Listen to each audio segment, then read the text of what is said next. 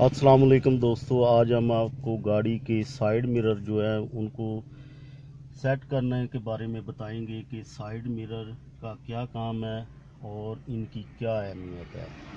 तो दोस्तों, गाड़ी चलाने से पहले, सबसे पहले जो है ना, आपको तेल, ऑयल और पानी जो है चेक करने के बाद आपको जो है ना, ज़रूरत पड़ती है कि साइड मिरर आपके जो है ना, ठीक हों, ताकि आप गाड़ी चलाएँ, आपको पता चले कि पीछे से कोई आ रहा है, नहीं आ रहा।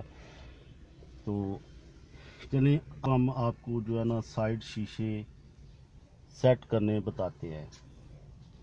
ये देखें, ये शीशा बंद है, अब हम इसको खोलेंगे। ये देखें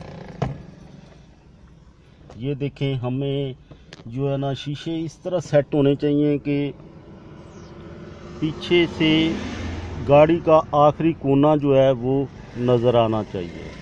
ये देखिए कि आप अगर रिवर्स भी करते हैं तो आपको पता होना चाहिए कि आपके जो है ना कोई साइड में चीज़ खड़ी है तो आपको सही तरीके से नज़र आए। हम अब हम दूसरी साइड का शीशा जो है वो सेट करेंगे कि वो किस तरह करते हैं।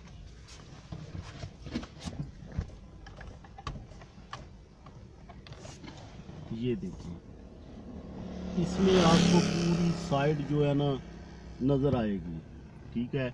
अब आप पीछे जो है ना सारा मंजर देख सकते हैं कि पीछे क्या है। वो शीशे में देखो, बच्चा जो है वो गाड़ी से बाहर निकल के इसी गाड़ी में बैठा है जो कि नज़र आ रहा है साइड शीशे से। तो अब हम गाड़ी को रिवर्स करना आपको जो है ना